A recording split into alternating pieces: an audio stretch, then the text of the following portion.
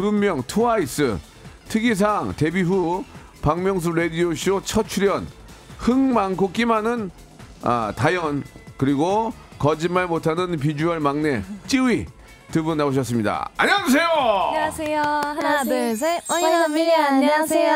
트와이스입니다. 과학자 가지고 삼행시 한번 해볼게요. 두 분하고 어. 참, 어, 그럼 먼저 쯔위부터 갈게요. 과학자. 과학자, 예. 자기네 노래 홍- 홍보해 주는 거예요. 이게 지금 내가 하고 싶어서 하는 게 아니고. 네. 과학자로 삼행시 가는 거예요. 네. 찌위 준비됐죠? 자, 과,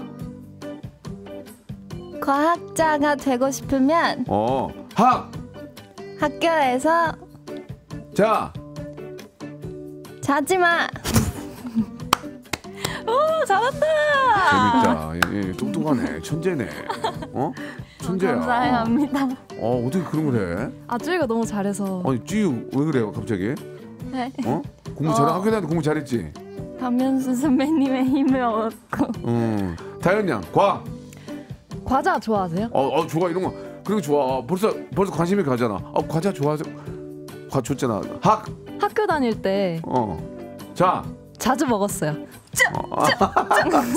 어, 예 쪼트 댄서 와, 주시는 거요? 알겠습니다. 예 한번 뛰어보세요. 과, 과일 좀 썰어. 어? 과일 좀 썰으라고. 뭐해 지금? 학, 아, 학교 선생님 오신대잖아. 과일 좀 썰어놔 좀 자. 잘게 썰어. 사람이 몇 명이야? 뭐 이런, 이런 것도 어, 있어요. 예를 역시. 들면. 이런 것도 있고 아, 분위기는 별로 안 좋았어요 아 창피해 아니에요. 찌위가 저. 찌위가 저 무시 무시했어요. 아, 아니에요, 멋있었어요. 뭐 멋있어요, 멋있기는. 예, 뭐 이런 것도 있고 뭐